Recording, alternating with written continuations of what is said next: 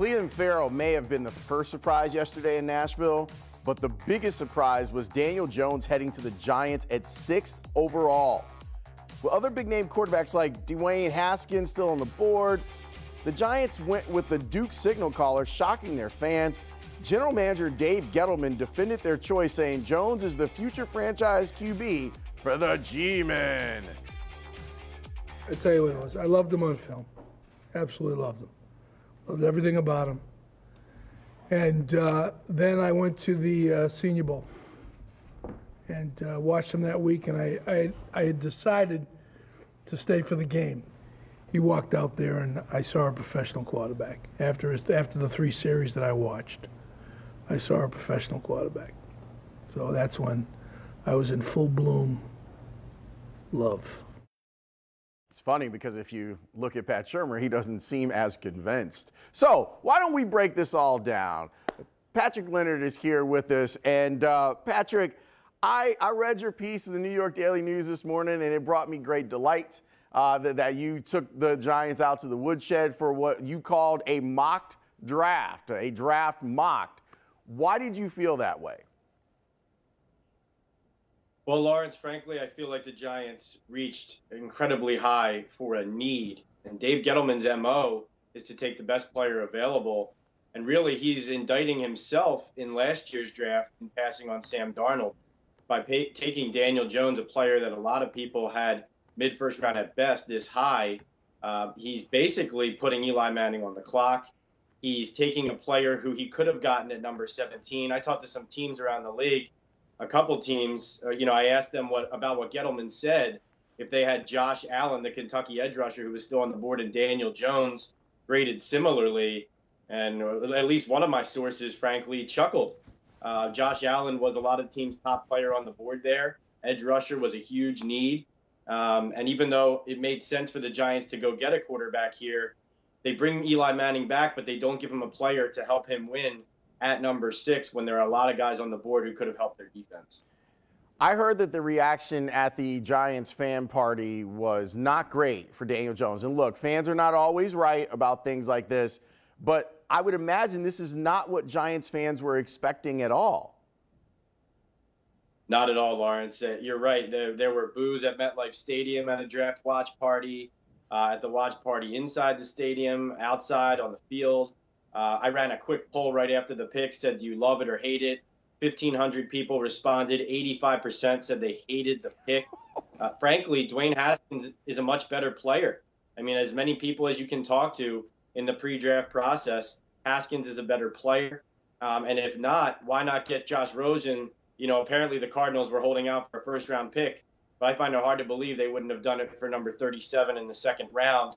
Gettleman's biggest problem in most of these drafts and most of these moves is his misunderstanding or his ignorance of value.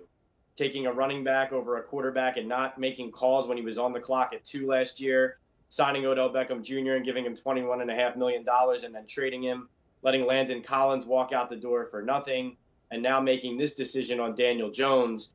All of them are head scratchers, and he's really just compounding mistakes. And it's interesting at least the pro Eli Manning fan base was standing behind Dave Gettleman and the Giants. But after this call by Gettleman, now the E Hive, as Mark Ross uh, coined it, is going to turn on Gettleman too. So it's hard to know what um, what allies he will have remaining after this. I thought it was really interesting. Like his approach to trying to sell Jones was, oh, I fell in love with him. I mean, that guy looked like a quarterback. And they, they've done this before with the Senior Bowl quarterback. I, I'm a little surprised that he thought that that was the right way to sell Daniel Jones to everybody. Right. And it, he was really worrisome. And Pat Shurmur tried to walk this back a little bit. Gettleman basically said that he watched him play for three series in the Senior Bowl and he was convinced and he fell in love with him. And so Pat Shurmur said, listen, guys, I was a little bit more deliberate than that. so everyone's saying, uh, okay, good. Somebody in the building um, but really, uh, frankly, I, I am I guess Shurmur's not the GM, right? So he doesn't make the pick. He only recommends the QB. So he could like Daniel Jones, but still not have wanted him at 17 necessarily. But this goes all the way up to the top, Lawrence. Frankly, uh, this goes up to ownership and the hiring of Gettleman. Think of it this way: if they had hired Louis Riddick as their GM, it's not crazy to say that right now they would have had Sam Darnold, Odell Beckham Jr., and Josh Allen, the edge rusher out of Kentucky. Instead, they have Daniel Jones, Saquon Barkley, who's a great player, and a defensive tackle in Dexter Lawrence, who's good. But so far, the return on the Odell Beckham trade is a defensive tackle, an offensive lineman, and a late third round pick. So, what does this mean for Eli Manning? Is there a chance that he loses his job to Daniel Jones this year?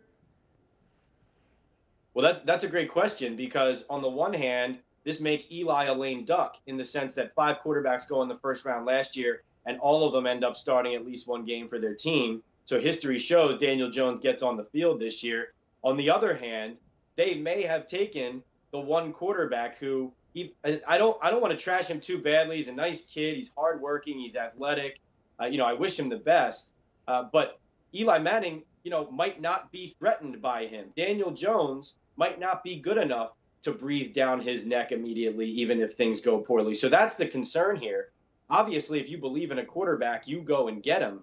But if you go and get the wrong one, that's the thing here. If Gettleman got the right guy, everyone in New York and New Jersey will love him. If he got the wrong guy, this is going to cost him his job. It's also like the connection with Cutcliffe is, you know, I, I get it that you were the, the guy with the Mannings, but then if you look at the rest of the quarterbacks that Cutcliffe has gotten close or to the NFL, it's it's not really great. Right, and this is the Giants' issue and the frustration is that they do what's comfortable. And back in January, you look at Daniel Jones and you see all the connections to the Mannings, and honestly, a lot of us just penciled him in as a giant right then and there. Hmm. But then you do your homework. Then you talk to people. Then you say to people, who, you know, how do you rank these QBs? Then you watch some of their tape. Then you find out, you know, were they accurate? Are they inaccurate? You watch their combine. You see their pro days. You listen to people talk about interviewing them. And you say to yourself, maybe Daniel Jones, but definitely not high in the first round because that's just not how he grades out, especially for a team that lacks in depth at several positions and is bringing back Eli Manning, meaning if you're going to ask Eli to win, you got to go and get him players to help do it. So this is the whole idea of the fact when someone like me says, "What is their plan?"